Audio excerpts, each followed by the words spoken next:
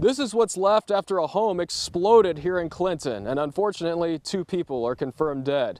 Fire officials tell me you could hear the explosion for miles around town. I was uh, lived in Texas when the Challenger explosion, um, so I kind of likened it to that.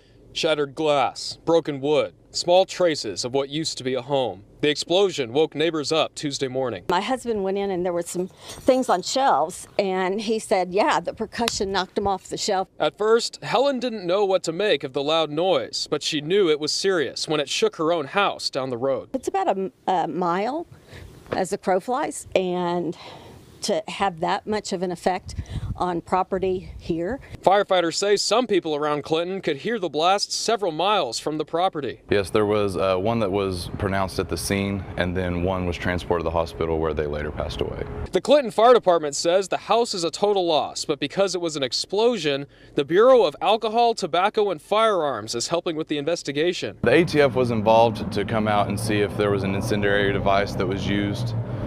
Um, in the explosion. Now, it's still not confirmed if that was the case, but we do know the state fire marshal and Oklahoma LP Gas Administration are working on the investigation too. All over the place, there was chunks of the roof 15, 20 feet from the house. The official cause of the explosion is still under investigation.